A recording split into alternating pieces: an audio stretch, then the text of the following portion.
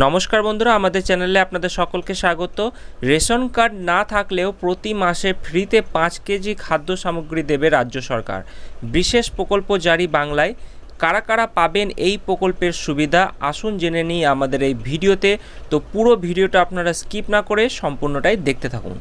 তার আগে বলি বন্ধুরা, আপনারা যারা আমাদের চ্যানেলের সাথে যুক্ত আছেন, তারা জানেনই এই চ্যানেলের প্রত্যেকটা ভিডিও কিন্তু দরকারি তাই কেউ এখনও যদি আমাদের চ্যানেলটা সাবস্ক্রাইব করে না থাকেন, তাহলে অবশ্যই আমাদের চ্যানেলটা সাবস্ক্রাইব করতে ভুলবেন না এবং পাশে থাকা বেল আইকনটি ক্লিক করে দেবেন, যাতে নতুন আপডেট আসলে আপনার ফোনে পৌঁছে দিতে পারে। আমরা এই চ্যানেলে কিন্তু প্রত্যেকদিন নতুন নতুন লেটেস্ট আপডেট নিয়ে আসছি, সরকারি এবং চাকরি রিলেটেড তো তার জন্য অবশ্যই আমাদের চ্যানেলটা সাবস্ক্রাইব করে দেবেন এবং পাশে থাকা বেল আইকনটি ক্লিক করে অল নোটিফিকেশন করে দেবেন বন্ধুরা।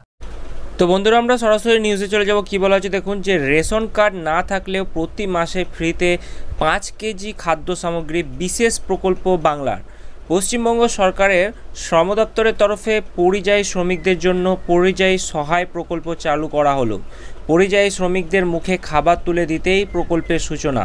প্রকল্পের অধীনে পরিযায়ী শ্রমিকদের তথ্য সংগ্রহ করা হবে, তারপর তাদের কাছে পৌঁছে দেওয়া হবে প্রয়োজনীয় খাদ্য সামগ্রী। দুর্গাপুজোর আগেই তথ্য সংগ্রহ করে পুরো দমে প্রকল্পের কাজ শুরুর লক্ষ্যমাত্রা স্থির করেছে রাজ্য সরকার।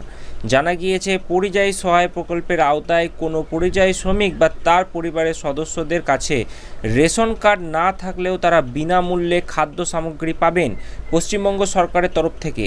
এর জন্য রাজ্য সরকার রেশন কার্ডবিহীন পরিযায়ী কুপন দেবে। প্রতি মাসে এই কুপন দেখিয়েই রেশন দোকান থেকে বিনামূল্যে দেওয়া হবে খাদ্য সামগ্রী।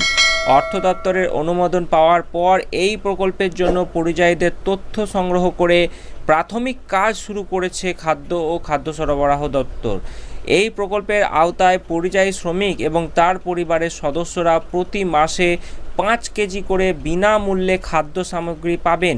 এই সমস্ত পরিযায়ী শ্রমিকদের চিহ্নিত করার জন্য পর্যবেক্ষণ, পর্যবেক্ষক নিয়োগ করছে সমদপ্তর দপ্তর এবং সেক্ষেত্রে এই পর্যবেক্ষকরা ব্লকে ব্লকে পরিযায়ী শ্রমিকদের চিহ্নিত করার কাজ চালাচ্ছেন। এদিকে দুয়ারে রেশন প্রকল্প নিয়ে কলকাতা হাইকোর্টে দায়ের হয় জনস্বার্থ মামলা। মামলাকারীদের তরফে আদালতে অভিযোগ করা হয়েছে, রাজ্য সরকার দুয়ারে রেশন প্রকল্প নিয়ে কোনো রকম গণবিজ্ঞপ্তি জারি করেনি।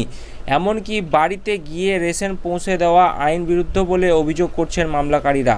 পাশাপাশি পরিকাঠামোগতভাবে পিছিয়ে থাকায় রেশন ডিলারদের পক্ষে বাড়ি বাড়ি গিয়ে মাল পৌঁছে দেওয়াও সম্ভব নয় বলে দাবি করছে এরা এই সমস্ত ডিলাররা যে সমস্ত আছেন।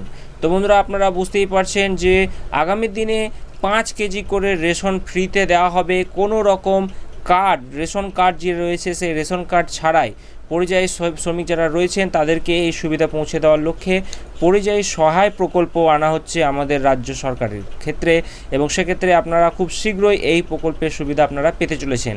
তো বন্ধুরা, আপনাদের এই প্রকল্পটি কেমন লাগল এবং ভিডিওটি কেমন লাগল আপনারা অবশ্যই নিচে কমেন্ট করে জানাবেন। তো আপনাদের মধ্যে কেউ পরিযায়ী শ্রমিক আছেন কি না অবশ্যই সেটি আমাদের উল্লেখ করতে কমেন্ট বক্সে ভুলবেন না। তো দেখা হচ্ছে পরবর্তী ভিডিওতে। সকলে ভালো থাকবেন, সুস্থ থাকবেন।